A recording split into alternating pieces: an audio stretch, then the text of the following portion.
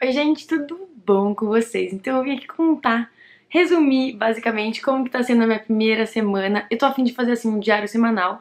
Pra começar, pra quem não sabe, eu vim a convite da ESEC pra fazer trabalho voluntário e eu já gravei um vídeo falando mais ou menos sobre isso, porque que eu vim, como, tipo assim, sabe? Explicando, eu vou deixar aqui passando pra vocês, então corre lá assistir caso você esteja perdido. E também me segue no Instagram se você estiver perdido, porque lá, além de eu mostrar muito meu dia a dia aqui, eu explico as coisas para vocês mais rápido, sabe? Vocês conseguem me acompanhar mais em tempo real. E se eu estiver falando um pouco estranho ou um pouco baixo, porque eu tô com um pouco de vergonha da minha host family, porque eles estão aqui do lado, e com certeza ele tá escutando tudo que eu tô falando, então é por isso. Hum.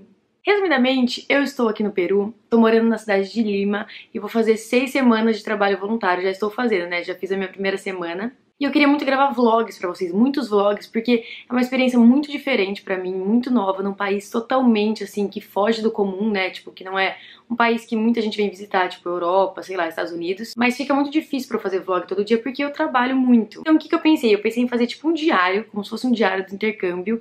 E aí toda semana eu venho e conto pra vocês tudo que aconteceu de diferente, como é que tá sendo a experiência, porque eu sei que muita gente tem curiosidade, e aí se vocês gostarem desse tipo de vídeo, eu posso fazer toda semana. Se vocês gostarem, então deixa muito like pra eu saber, porque daí se vocês não deixam muito like, não assistem muito, aí eu vou acabar não fazendo esse diário, sabe? Bom, eu vim aqui pro Peru a convite da AESEC de São Carlos, que é o escritório com que eu tenho parceria, que eu estou trabalhando. A AESEC é uma organização, já expliquei pra vocês tudo nesse vídeo, mas é uma organização sem fins lucrativos que promove a liderança jovem. Então eles têm vários tipos de intercâmbio. O que eu tô fazendo é um intercâmbio voluntário. Você vem e fica seis semanas no país que você escolhe para fazer trabalho voluntário. E aí existem diversos tipos de trabalho, tá? Eu tô fazendo trabalho com crianças. Então o lugar que eu trabalho tem crianças de 2 a 9 anos, assim, vai. E obviamente eu não ganho nada para isso porque é um trabalho voluntário. Aí vai ser difícil fazer esse resumo semanal porque eu sei que vão surgir muitas dúvidas. Eu cheguei aqui então dia 11 de janeiro, que era uma sexta-feira. O maior medo quando a gente vai para outro país, para começar, eu não falo espanhol, tá gente? Não falo assim praticamente nada. Agora, só uma semana que eu tô aqui, meu espanhol já deu uma melhorada. Espanhol é uma língua muito parecida com português, então você acaba conseguindo entender. Não é como se eu fosse, por exemplo, para Alemanha sem falar alemão porque dá pra você se virar. Mas o espanhol deles é bem rápido e um pouco diferente, então no começo tava com muita dificuldade de entender, ainda tenho, mas como eu tô convivendo muito, né, com a língua, eu tô entendendo melhor. Logo que você chega no aeroporto, tem uma pessoa te esperando para te levar até a sua casa ou lugar que você vai ficar. No caso, ele se chama Buddy. Todo mundo da ESEC, todo mundo que vem pro intercâmbio pela ESEC tem um Buddy, que é a pessoa que vai te buscar no aeroporto e que vai te ajudar com tudo que você tiver dúvidas. Tipo assim, trocar dinheiro, comprar as coisas, te apresentar meio que a cidade no começo.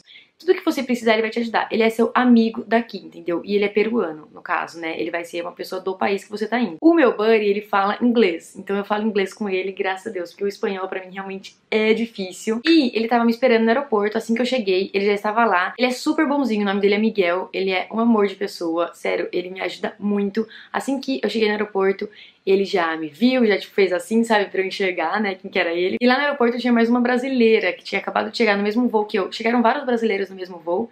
E aí essa brasileira chama Ana. Inclusive, ela tá no meu projeto. Foi muita coincidência. Tipo, a gente já chegou e se encontrou, sabe? Então já conheci ela lá no aeroporto e ela tava com o buddy dela, cada um tem o seu. E aí a gente veio de Uber pra minha casa, é a casa que eu estou agora gravando esse vídeo. Eu cheguei aqui, encontrei o meu host, que chama Gustavo, ele tava aqui me esperando, tipo, muito, sei lá, eu tive muita sorte também, porque são pessoas muito legais e eu acho que América Latina tem mais ou menos a mesma cultura, então eles são calorosos, são, tipo, super receptivos. Cara, o povo peruano é muito receptivo, muito. Isso foi uma coisa que eu percebi logo de cara e que eu já amei, porque é muito diferente do Canadá, por exemplo. O povo canadense é muito mais reservado, muito mais na deles. Tudo isso é questão cultural, né? E assim, quem me conhece sabe que eu sou uma pessoa que não sei planejar, sou péssima de planejamento. Eu cheguei aqui no Peru, gente, com só com minha mala, meu corpo e minha vontade mesmo, porque eu não trouxe nem dinheiro, não trouxe soles, aqui a moeda chama soles, não, não tinha chip de celular, não tinha nada. Então eu falei pro meu buddy, pro Miguel, meu, preciso comprar um chip com internet, porque necessidade, né? Eu deixei só minhas malas aqui na minha casa, que fica em Miraflores. Eu dei muita sorte, porque o bairro de Miraflores, logo na beira da praia, assim, é um bairro muito lindo, muito badalado, muito, é um bairro muito bonito, gente. Pra mim, dos bairros que eu já tive aqui em Lima, é o mais bonito. Mas é uma questão de sorte também. Ele me levou para comprar chip de celular que tem logo aqui. Aqui no Peru tem as coisas, tem muita coisa em barraquinha, sabe? Tipo, eu comprei meu chip de celular numa barraca de, tipo, banca mesmo, de revista. E aí o cara mesmo já perguntou, eu paguei 30 soles, que é um preço bem bom, por 3 GB de internet. Tipo, 30 soles é muito, deve ser tipo, um, sei lá, 40 reais, até menos. Então eu comprei pré-pago e já aproveitei e troquei dinheiro. É lindo demais, Miraflores, é lindo demais. E eu mostrei bastante coisa no Stories, então me sigam no Instagram. Tem até um destaque lá, Lima, e aí vocês podem ir me acompanhando. Aí eu voltei pra casa, cheguei aqui, meu rosto perguntou o que eu queria comer, aí eu falei que poderia comer o que ele quisesse. E aqui eles comem muito frango. Eu vim pra cá achando que eles comiam muito mais peixe, porque esse é né, daqui e tal. Mas só que não, gente, eles comem muito frango. Tipo, frango definitivamente é a comida principal deles. E aí ele pediu pra gente frango um frango assado normal com batata frita e arroz. Então, ó, franguinho, aí tipo abacate, beterraba, cenoura e batata. Eu peguei pouco porque eu tô meio enjoada da viagem. Aí deixa eu já mostrar pra vocês antes que eu esqueça. Essa bebida aqui, meu rosto falou que é super típica, chama Chicha Morada. Acho que é isso. que eu entendi, que meu espanhol não é muito bom, né? E aí ele falou que é feito de milho. É tipo um milho roxo. Eu achei que parece, é bem gostoso, é doce e parece tipo um suco de uva para mim, mas só que mais doce. Sim, vai, lembro. Foi a primeira coisa que me lembrou. Achei bem gostoso. Comi, só que eu tava super, super cansada esse dia, né? Porque eu tinha dormido super mal, dormido no avião, e aí eu meio que dormi super cedo. Acho que eu dormi, era tipo 7 horas da noite. E foi esse meu primeiro dia. Mas foi um primeiro dia ótimo, já cheguei a me sentir super acolhida, assim. Não tive nenhum problema. E a galera da ESEC tava sempre me dando muito apoio, perguntando como é que eu tava, se tava tudo bem, se meu buddy tinha me pegado no aeroporto, onde que eu tava, assim, me perguntando e, e pedindo pra eu informar, sabe? Pelo menos comigo, eu tô contando a minha experiência, tá, gente? Óbvio que eu não posso falar por todo mundo, mas comigo eles estavam me dando muita atenção. E aí dormi e no outro dia teve uma IPS, sábado de manhã. IPS é tipo uma reunião que eles fazem com todo mundo que chega, sempre quando vai chegando gente nova eles vão fazendo, que é para explicar um pouco sobre o país, o que você deve fazer, o que você não deve, contar um pouco a história e falar um pouco o que, que a gente vai fazer no trabalho voluntário, não no seu projeto específico, mas um pouco no geral, sabe? O porquê que eles desenvolvem esse tipo de projeto, o que, que eles procuram e tal. E a SPS foi na Universidade de Lima, que, meu, é uma puta do universidade. Eu achei que era uma universidade pública pelo nome, né? Mas não, é privada, mas é muito linda, é uma faculdade muito linda. Inclusive, o meu host, que é, quando eu falar host, é a minha família daqui, tá? Ele faz faculdade lá, ele faz engenharia. Enfim, tivemos todas essas orientações, e aí eu fui comendo shopping, só que eu tava com muita, muita, muita cólica esse dia. Não tava me sentindo muito bem. Vim pra casa, dormi, acordei domingo e resolvi dar uma passeada aqui pelo bairro que eu tô pra dar, né, uma uma ambientada. E aí eu me apaixonei por esse bairro de uma maneira. Eu mostrei bastante pra vocês no Stories, porque é um bairro muito, muito, muito lindo, gente, sério. E tem muito turista nesse bairro, porque como é o bairro da praia, né, muita gente vem conhecer. Aí eu comi um crepe, assim, tinha ali na beira da praia um crepe delicioso, inclusive, que eu quero comer hoje de novo. E achei o pôr do sol, assim, tipo, tem muitos parques, né, é tudo beirado por parques. E achei um pôr do sol num desses parques. E eu dei sorte porque Lima é uma cidade conhecida como cidade cinzenta, porque realmente todos os dias praticamente é nublado. Isso é uma coisa legal de saber. Sempre parece que vai chover, mas nunca chove. E quando chove é uns chuviscos, assim, uns pinguinhos. E eu não quis sair, não quis fazer nada assim de muito. Primeiro que eu não ainda não conhecia ninguém, né? Porque eu tinha acabado de chegar. E segundo, porque segunda-feira foi meu primeiro dia de trabalho e eu sabia que eu tinha que acordar cedo. O meu trabalho é numa creche longe daqui e e aí eu, veio, eu vi meio pelo Maps, né, o tanto demorava para chegar. Eu demoro cerca de uma hora e meia para chegar de ônibus para lá, então eu tenho que acordar bem cedo. Só que no primeiro dia, que foi segunda-feira, o seu buddy, ele vem também te buscar e, tipo, te levar, te ensinar como chegar no seu trabalho. Então ele me ensinou como, que ônibus que eu teria que pegar e tal, para você não ficar perdida sozinha, assim, tipo, né, isso é muito bom. Isso eu achei muito bom, porque você, não, você se sente mais segura.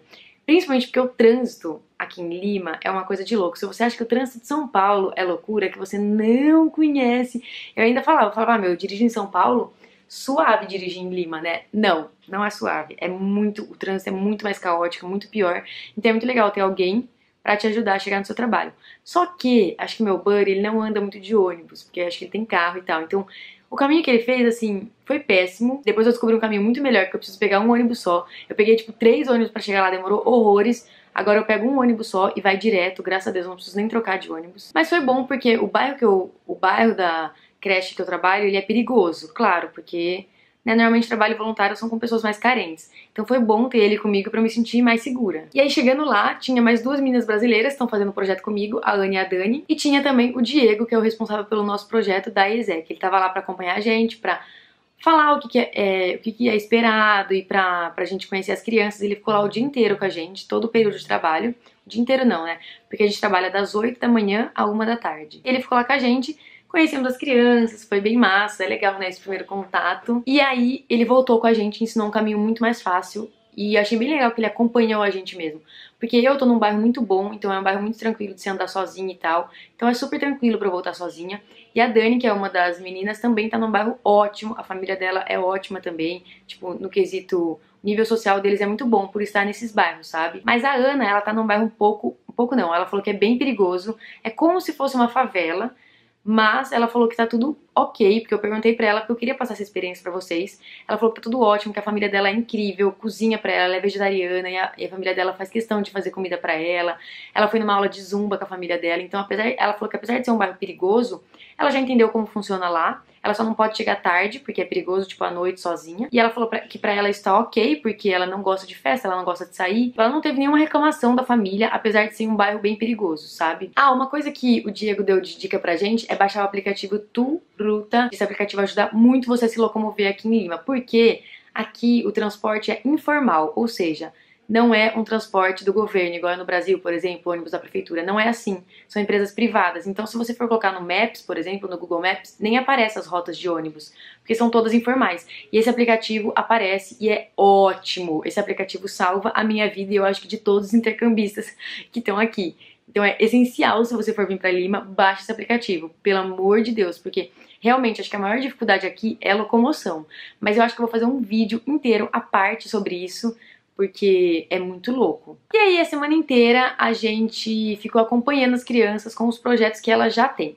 Só que assim, a creche que a gente tá é uma creche particular, e tem isso, tem pessoas que trabalham em creches particular pela ESEC. Se você faz questão de trabalhar numa ONG, acho que você já deve deixar isso bem claro para sua manager do Brasil. Fala, ó, eu não quero trabalhar em lugar particular, quero trabalhar em ONGs e tal. Aqui as creches particulares, elas não têm uma condição boa, não é uma condição boa igual no Brasil. Então eles também são carentes, eles também precisam de ajuda, mas é legal falar isso para vocês para já deixar vocês informados. E eles já têm várias atividades programadas. A gente fez atividade de reciclagem com eles, então foi bem legal que eles fizeram tipo uma máquina de somar com papelão, rolo de papel higiênico e essas coisas. Nosso projeto ele é voltado para reciclagem. Então é sobre isso que a gente tem que desenvolver, reciclagem e diferenças culturais. Teve também um dia que eles têm aula de mini chef. Nossa, mini chef é tenso porque é um caos. Imagina um monte de criança cozinhando.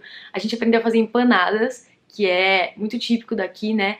E é muito legal porque as professoras são muito legais também, elas tratam a gente super bem, sabe?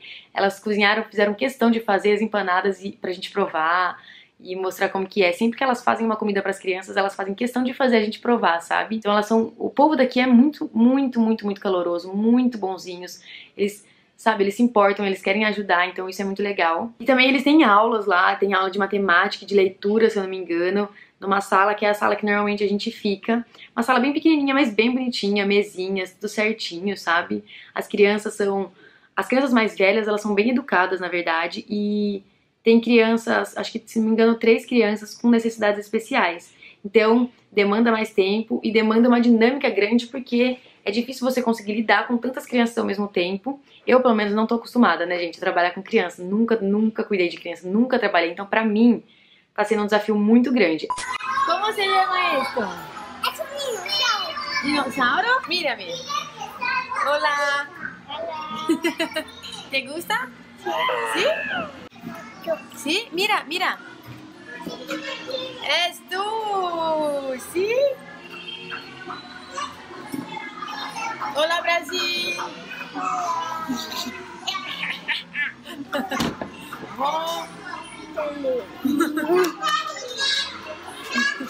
Essa primeira semana de adaptação tá sendo bem, bem, bem difícil, bem estressante. Assim, eu tô falando com um sorriso no rosto porque hoje é sábado, eu tô de boa. Realmente é uma diferença cultural muito grande. O transporte aqui é um caos. Eu acho que a pior coisa daqui é o transporte. É um caos mesmo. Aqui da minha casa até o trabalho não é tão longe assim.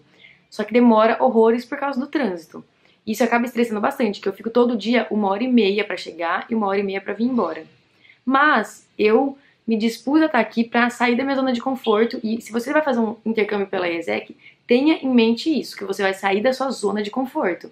Então você vai realmente passar por muitas dificuldades, você vai ficar estressada, às vezes você vai chorar, vai, vai porque é uma adaptação muito diferente, é um choque cultural, é um choque, é um choque, sabe, para você. Mas você tem que vir com a mente aberta e já esperando isso. Não venha esperando que você vai ficar no hotel 5 estrelas e vai ser uma viagem, sabe assim, de férias, porque não vai. Como a gente percebeu que não tem nenhum projeto em andamento, tem esse problema também. A gente veio esperando que teria um projeto já em andamento e na verdade não tem. O que acontece é que a gente fica lá ajudando as crianças no geral. Então a gente ajuda em tudo as professoras. Essa primeira semana a gente ficou fazendo isso. Então a gente ajuda absolutamente tudo, gente. A gente ajuda a dar comida, ajuda nas atividades, a gente faz cerâmica, que é tipo massinha de modelar, a gente faz atividade de reciclagem, a gente fez costura, a gente fez desenho, pintura com as mãos. E aí é dividido em duas turmas, no caso da minha creche, das crianças menores até 3 anos e das crianças maiores.